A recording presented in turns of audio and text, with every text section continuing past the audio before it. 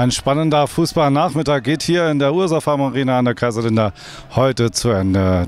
Gegen den FSV Mainz 05 gab es in der ersten Runde des DFB-Pokals Elfmeterschießen. Am Ende hieß das Ergebnis nach Elfmeterschießen 9 zu 10. Elversberg hat knapp verloren, stand kurz vor der Sensation, hat es dann aber am Schluss leider nicht geschafft. Tellust hat sich mit den Spielern Kevin Konrad und Lukas Schnellbach unterhalten. Und auch Steffen kommt gleich auch zu Wort. Viel Spaß damit. Con ist ja welch eine Woche für dich. Vater geworden, Kapitän geworden. Heute die DFB-Pokalpartie gegen Mainz. Am Ende leider knapp verloren mit 9 zu 10 im Elfmeterschießen. Was waren das für Tage für dich? Ja, waren sehr aufreibende Tage, muss ich sagen. Also gerade die, die letzten drei, die waren schon aufregend, als wir da als am Freitag mein Kleiner auf die Welt kam. Äh, heute das Spiel war schon, war schon schön, hätte natürlich ja, noch besser gepasst, wenn wir das Ding heute gezogen hätten zum Schluss. Respekt erstmal für diese Top-Leistung heute. Ihr habt scheinbar alles abgerufen, auch zweimal das Spiel nochmal für euch entschieden, bevor dann der Ausgleich nochmal gefallen ist. Wie hast du dieses Spiel so von außen erlebt? Von oben war es unheimlich intensiv. Ähm, ja, ich habe es von innen erlebt. äh, ja, groß nachdenken, da war gar keine Zeit für. Also das war einfach nur genießen und machen. So hat, denke ich, jeder auf dem Spielfeld auch angenommen. Ähm, ja, und ich hoffe, dass wir einfach die, die Zuschauer, die jetzt heute mal wieder erlaubt waren, ein bisschen unterhalten konnten. Natürlich sind wir jetzt ein bisschen enttäuscht, dass wir es nicht komplett gezogen haben. Aber ich denke, wir können da trotzdem stolz auf unsere Leistung sein. Es waren dann am Ende 15 geschossene Elfmeter. Du hast ja auch einen verwandelt. Wie intensiv war das dann, als man da nochmal zum Punkt gegangen ist? Ja, war schon, war schon sehr intensiv. Also ich, ich hoffe, meine Frau hat keinen Herzinfarkt bekommen im Krankenhaus. Die hat es angeguckt, äh, dass ich da den fünften Elfmeter noch geschossen habe. Ähm, ja, ist natürlich nochmal ein anderer Moment, wenn man da vor, der, vor dem Tor steht. Im Training ist es ganz einfach. Äh, da sind die Elfmeter relativ nah am Tor. Jetzt ist der Elfmeterpunkt relativ weit weg und der Tor war doch recht groß. Ähm, ja, das ist einfach nochmal ein Moment, wo man dann wirklich auch erleichtert ist, wenn man reinhaut. Ich denke, man hat beim Lau auch gesehen, die Enttäuschung, die dann da war, als er, als er gegen die Latte gedonnert hat. Deswegen, das ist ein Moment, den muss jeder selber für sich erleben ist auch schwer zu beschreiben. Am Ende gab es nochmal Standing Ovations von den Fans und eine Ehrenrunde. War das heute eigentlich die perfekte Werbung für die Elf? Ja, ich denke, Werbung, Werbung haben wir schon gemacht. Ich hoffe natürlich, dass wir in der Runde vielleicht noch ein bisschen mehr Offensivfußball zeigen können, äh, weil heute war es doch mehr Defensivarbeit. Aber ich denke, unsere Umschaltmomente haben wir schon gezeigt, was wir können. Und ich hoffe natürlich, dass äh, ja, auch während der Runde vielleicht die zugelassenen Zuschauerzahlen dann auch erreicht werden. Ich habe es zu Beginn angesprochen, du bist ja auch Kapitän geworden. Was bedeutet dir das Amt? Ja, letztendlich, ich habe es immer gesagt, ändert es nichts groß an meiner Aufgabe. Ähm, ich, ich habe ja letztes Jahr eigentlich auch schon, schon ein bisschen das Kommando übernommen hinten drin. Jetzt habe ich natürlich die Binde noch, das ist noch ein bisschen ein Alleinstellungsmerkmal. Aber wir haben so viele Typen auf dem Platz, die das Ding dann ziehen können. Wir haben mit Paddy einen, der einfach durch seine Körpersprache, mit Schnelli vorne drin haben wir genug Führungsspieler, Fälle, der jetzt immer lauter wird das ist, wir haben so viele Typen auf, auf dem Platz, da ist die Binde eigentlich nur, ja, sagen wir mal, Zierde. Was könnt ihr jetzt nach dem Spiel heute, nach dem Erlebnis mitnehmen für die Runde, für den Auftakt gegen Offenbach, der dann in knapp zwei Wochen folgt? Ja, ich denke, dass wenn wir alles abrufen, dass wir eigentlich auch zu allem äh, in, in, der Lage sind. Und wenn wir das irgendwie transportieren können in die, äh, in die Runde, dann ja, können wir schon das eine oder andere Spiel vielleicht ziehen, das wir letztes Jahr noch nicht gewonnen haben. Mit welchem Gefühl verlässt du heute insgesamt das Stadion? Ja, ich bin ein bisschen enttäuscht, dass ich mehr ins Krankenhaus konnte, weil Besuchszeit war nur bis 19 Uhr. Dann kam die Verlängerung dazwischen. Nee, äh, grundsätzlich freue ich mich natürlich für die Mannschaft, wie sie, wie sie geackert hat, wie sie gearbeitet hat, wie wir füreinander da waren. Das äh, stimmt mich zuversichtlich für die Zukunft. Danke für dieses tolle Erlebnis. Vielen gerne, gerne. Schnelli, letztes Jahr durfte ich dir zu einem super Spiel gegen St. Pauli gratulieren, wo du getroffen hast und ihr weitergekommen seid. Heute darf ich dir auch zu einem super Spiel und Treffern gratulieren. Am Ende hat es aber leider heute nicht gereicht gegen den Bundesligisten aus Mainz. Was war am Ende entscheidend dafür? Ja, wir haben den entscheidenden Elfmeter vorbeigeschossen, aber das passiert und ähm, geht natürlich weiter. Und wir haben ein super Spiel gemacht in den 120 Minuten. Wir haben uns nie aufgegeben und äh, darauf können wir aufbauen in der Runde auf jeden Fall. Es war super intensiv, super spannend. Wie hast du das auf dem Feld erlebt? ja, wir haben immer auf eine Aktion gewartet, vielleicht vorne irgendwas, dass irgendwas geht und dann ähm, konnten wir zweimal zustechen und äh, sind zweimal in Führung gegangen. Und ist natürlich ärgerlich, wenn man halt äh, zweimal dann noch den Ausgleich bekommt. Kurz vor Schluss in der 90. haben wir sogar noch die Chance zum 2-1 mit Felix und äh, wenn er den reinmacht, wäre natürlich super gewesen, aber Das passiert. Es waren tolle Treffer von dir. Hast du das in dem Moment auch so erlebt oder hast du es dir jetzt im Nachgang nochmal angeschaut? Nee, ich bin gerade in die Kabine, ich muss meinen Fuß kühlen, ich habe einen abgekriegt, da konnte ich noch nichts gucken. Es war ein super intensives Spiel, haben wir schon gesagt. Ähm, teilweise war kein Klassenunterschied zu erkennen. Trotzdem war ja in Halbzeit 1 auch so ein bisschen Glück dabei. Mainz hat zwei, drei hochkarätige Chancen gehabt. gab es da so Szenen, wo du gedacht hast, jetzt könnte es auch nach hinten losgehen? Ja klar, die, die haben schon das Spiel gemacht in der ersten Halbzeit, muss man schon sagen. Auch in der zweiten Halbzeit, die haben Druck gemacht.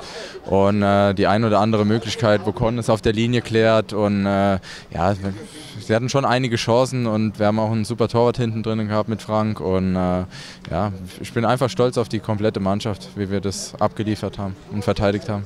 Dann habt ihr das Spiel auch nochmal gedreht und habt sogar nochmal ins Elfmeterschießen gepackt. Was bedeutet das jetzt für die kommende Zeit oder dann auch für die Runde? Ja, einfach mit Selbstbewusstsein in die Runde gehen und äh, jedes Spiel als Endspiel sehen und Gas geben und einfach gucken, wo wir dann am Ende stehen. Letztes Jahr hat es leider knapp nicht gereicht und äh, wir gehen wieder einen neuen Versuch, aber mit ein bisschen weniger Druck halt in der Mannschaft, weil wir wollen es einfach äh, Fußball spielen, wir wollen Spaß haben und äh, der Rest kommt dann auch von alleine. Das heißt, auch wenn die Enttäuschung heute groß ist, blickst du positiv nach vorne. Ja, auf jeden Fall. Wir können stolz auf uns sein, stolz auf die Mannschaft, stolz auf den, das komplette Team außenrum und äh, da können wir drauf aufbauen. Jetzt ist ja nächste Woche erstmal spielfrei, dann geht es in zwei Wochen gegen Offenbach daheim los. Kannst du da schon so einen kleinen Ausblick geben? Ja, wir, wir arbeiten jetzt auf das erste Pflichtspiel hin. Klar, tut es jetzt, glaube ich, nach 120 Minuten plus Elfmeterschießen nochmal gut eine Woche mehr zu haben. Und äh, ja, aber wir bereiten uns äh, richtig gut vor und hoffen, dass wir dann gleich auch mit einem äh, guten Spiel starten können. Dann hol dich erstmal gut und komm gut heim. Gell? Dankeschön. Ja, Horst, du blickst auf den Spielbogen und siehst ein 9 zu 10 nach Elfmeterschießen deiner 11 gegen Mainz 05. Du schüttelst den Kopf, aber wahrscheinlich schüttelst du den Kopf nicht, weil du enttäuscht bist, sondern im Gegenteil wahrscheinlich, weil du stolz bist und denkst, heute war hier eigentlich viel mehr drin in der ersten DFB-Pokal-Hauptrunde. Lass uns doch mal an deinen Gefühlen teilhaben. Ja, ich habe den Kopf geschüttelt, weil es halt die 89. war und die 116., äh, wo wir den Ausgleich jeweils kriegen. Klar äh, war das Spiel so, ähm, wie es zu erwarten war, dass Mainz uns ähm, so ab der 20. auch sehr stark unter Druck gesetzt hat und äh, ja, wir wenig Möglichkeiten zur, zur Entfaltung äh, hatten. Hatten ein paar Angriffe, wo ich sage, da kann was draus entstehen, wo wir 1 gegen 1, 2 gegen 2 spielten. Wenn wir da genau spielen, dann können wir vielleicht auch vorher schon mal wieder zu, zu Torchancen kommen, wo wir das Gefühl haben, Mensch, wir müssen viel verteidigen, aber es lohnt sich, weil wir eben diese, diese Situation bekommen, vor, äh, vor das gegnerische Tor zu kommen.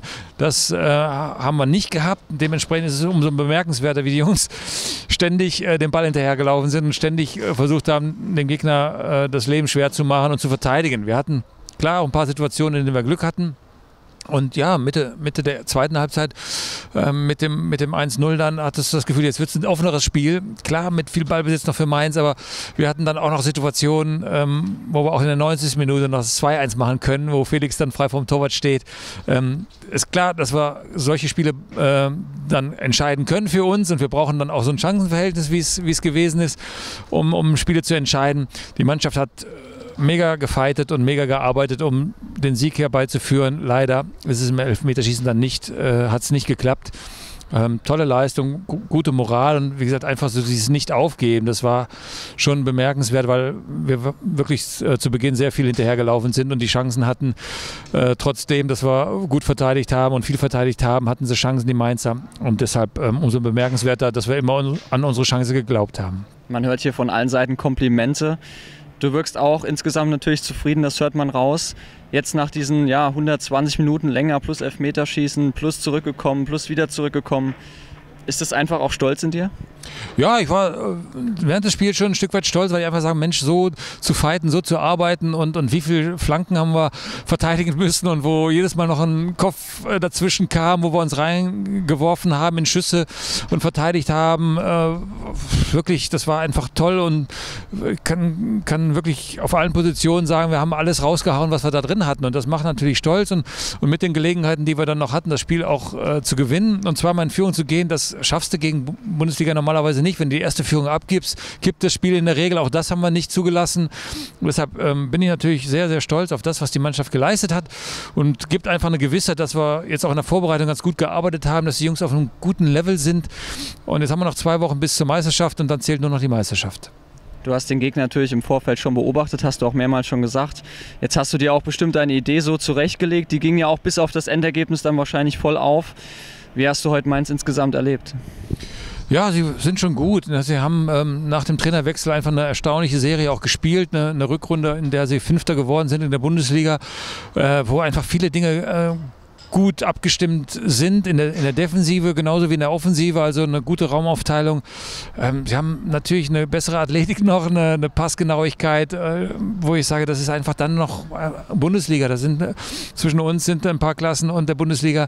Deshalb war das schon zu erkennen, dass sie, dass sie sehr gut sind und trotzdem hatten sie Mühe gegen uns und wir hätten das Spiel gewinnen können. Und klar ist, nochmal, gegen guten Bundesligisten musst du einfach äh, ein Stück weit Glück haben, um das Spiel zu gewinnen eine tolle Atmosphäre, ein tolles Wetter bis zu Beginn. 2480 Zuschauer. Ihr seid am Ende noch eine Ehrenrunde gelaufen, die Fans haben euch applaudiert. Ist das so das, was man vielleicht heute auch mitnimmt? Ja, absolut. Ich bin ja immer für Spektakel, ich bin ja immer dafür, dass wir den Zuschauern was bieten. Es gelingt oft, es gelingt nicht immer, das ist klar. Und, und so soll es sein, dass die, dass die Fans nach Hause gehen und sagen, boah, da war eine Mannschaft dem Feld, die alles gegeben hat, die hin und wieder auch spielerisch dann überzeugt hat. Ähm, das ist klar, aber dieses Gefühl von Gemeinschaft ähm, war wieder da, mit, mit unseren Fans zusammen. In schwierigen Phasen äh, kamen wieder die Anfeuerungsrufe das, das ist toll wieder zu erleben und dementsprechend bin ich sehr dankbar, dass so viele Leute uns heute unterstützt haben. Ich hätte, wie gesagt, gerne allen Fans äh, einen Sieg gegönnt, um wirklich dann auch zur Arbeit gehen zu können, zu sagen, so, unser Verein hat echt äh, Bemerkenswertes geleistet und ähm, jetzt warten wir aufs nächste Los. Ist leider nicht gelungen, aber dass wieder Fans da waren, Mensch, war das wieder ein gutes Gefühl. Jetzt noch knapp zwei Wochen bis zum Auftakt, dann gegen Offenbach daheim und gegen Ulm auswärts das wird ja auch gerade zu Beginn ein bockstarker Beginn, oder? Ja, das wird auf jeden Fall herausfordernd sein und deshalb bin ich eher auch ganz froh, wie das Spiel jetzt gelaufen ist. Dass wir einfach 120 Minuten gehen mussten und viele das Gefühl jetzt bekommen haben, Mensch, wir können es laufen, wir können es äh, konditionell, können wir äh, richtig Gas geben und sind im Spiel und brauchen nicht mehr ganz viel Zeit, um, um konditionell auf Top-Level zu sein. Das ist Voraussetzung, um die Spiele dann zu Beginn auch gewinnen zu können. Neben den taktischen Dingen muss aber das Gefühl da sein, wir sind athletisch politisch in der Verfassung. Und ich glaube, das, äh, was wir heute gesehen haben, kann jedem das bestätigen, dass wir in einer guten körperlichen Verfassung sind. Und dann warten wir jetzt auf den Saisonstart und hoffen, dass wir in der Meisterschaft wieder richtig guten Fußball spielen und Spektakel liefern mit einem besseren Ergebnis. Ich glaube, auch wenn es gerade noch schmerzt, wir nehmen den Stolz mit. Alles Gute für die Dankeschön. nächsten Wochen. Danke. Dankeschön.